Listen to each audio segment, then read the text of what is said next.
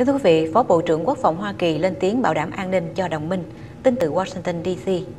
Phó Bộ trưởng Quốc phòng Hoa Kỳ, ông Ashton Carter, trong ngày 8 tháng 4 2013 nói rằng Hoa Kỳ xem những lời thách thức của Bắc Hàn rất nghiêm túc, đồng thời bảo đảm an ninh đến tới đồng minh. Thuyết trình trước diễn đàn tổ chức bởi Trung tâm Center for Strategic and International Studies, tức là CSIS, Phó Bộ trưởng Carter giải thích chiến lược mới của Hoa Kỳ trong quá trình cân bằng khu vực Thái Bình Dương ở Á Châu với tình hữu nghị song phương cũng như đa phương.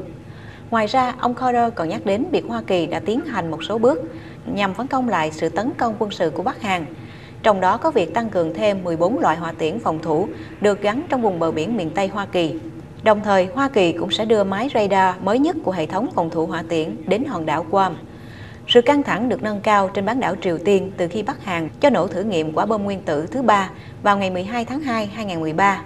cũng như việc phản đối cuộc tập luyện quân sự giữa Hoa Kỳ và Nam Hàn. Bắc Hàn đã công bố quốc gia cộng sản này đang ở trong tình trạng chiến tranh với Nam Hàn và đã nhiều lần hăm dọa tấn công bất thình lình với vũ khí hạt nhân.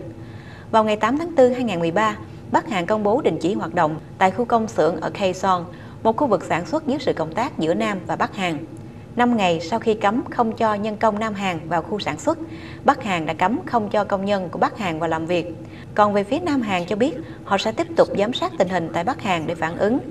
Trong khi đó, một cuộc họp giữa các quan chức chính phủ Nam Hàn đã được tổ chức tại thành phố Hán Thành để bàn thảo việc trả đũa đối với Bắc Hàn về việc đóng cửa khu sản xuất tại Kaesong.